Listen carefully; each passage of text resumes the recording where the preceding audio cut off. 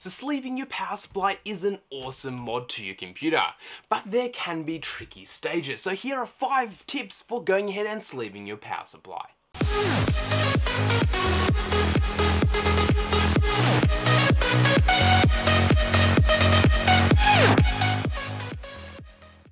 Hey guys, CPU Modder here, with another video, and today we're taking a quick look at sleeving your power supply. So we're not going to go into the whys, hows, and everything else with sleeving, but we're going to be giving you 5 tips to go ahead and make sleeving a whole lot easier. So I've just recently finished sleeving my personal power supply in an awesome orange themed sleeve, but I've done it with many other systems, whether it be green, blue, orange, and well, everything else in between. So I've done quite a few power supplies in my time.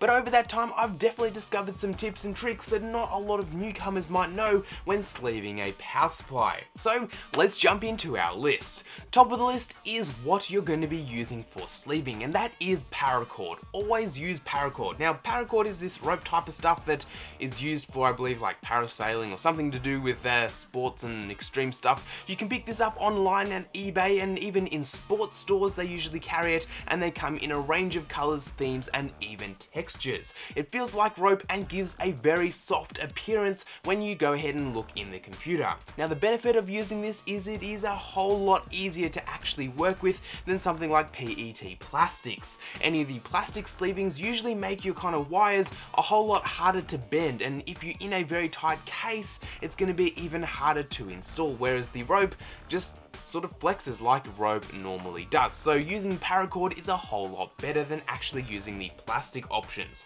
And again, not to mention it gives it a much nicer looking finish as opposed to a sort of plastic grippy kind of look that doesn't always look the best. Tip number two is don't go out and buy expensive cable modding kits. They're usually not needed at all. If you're not going to be going ahead and changing the connectors at the end or really doing anything else special and only planning on actually sleeving the cables, all you really need is a safety pin and your paracord. That is all you need and possibly also to a lighter, but really you can get away with just those two tools. I recently went ahead and sleeved my personal power supply and all I needed was my paracord and my safety pin. That's all I actually used for the entire project. A lot of modding kits can start at $100 and go even up to $300 to $400 and usually include specialty tools that honestly isn't really that needed.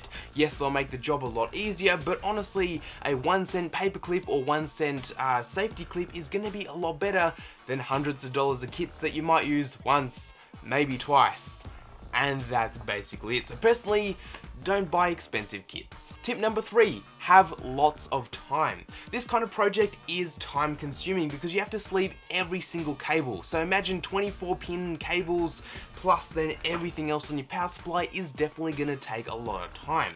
Even if you're able to sleeve a cable within one to two minutes, times that by at least 200 cables if you're doing a whole power supply and you have a lot of minutes taken up. I'd say at least three hours is needed if you're fairly experienced and anywhere up to five hours if you are new to cable modding. You also do want to take your time because rushing this kind of job can result in a dead power supply or even worse, a dead motherboard if you do it incorrectly. Tip number 4. Choose your power supplies right. A non-modular power supply can be one of the hardest things to sleeve because of the fact the hole where the non-modular cables come out is not to actually fit all the sleeving inside of it. Again, personally, I recently went ahead and sleeved my power supply, which was not modular, and I actually had to cut away at the housing to go ahead and actually extend it. Now, with that being said, because I have a little bit more experience with modding, I figured out how to do it with a really clean look, but it can result in a very terrible and not the best looking mod, which has happened to me in the past. So,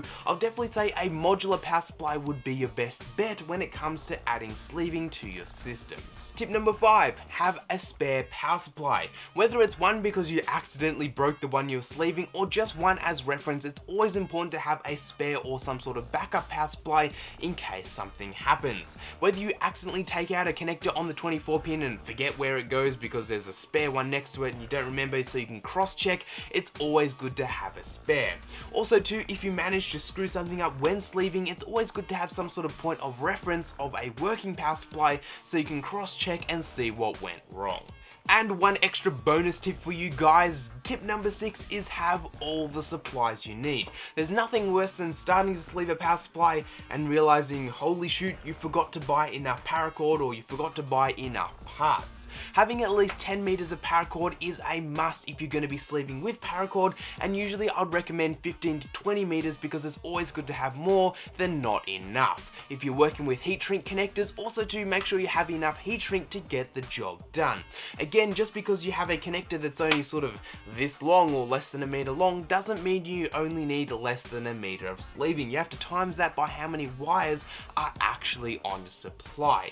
And with that being said, also to study how your power supply is built, as not all of them are built the same.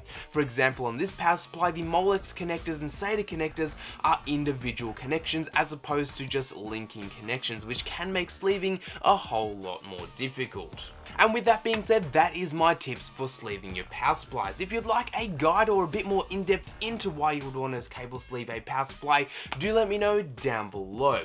If you are sleeving a power supply and having troubles again, let me know down below. I'll be more than happy to help you out there.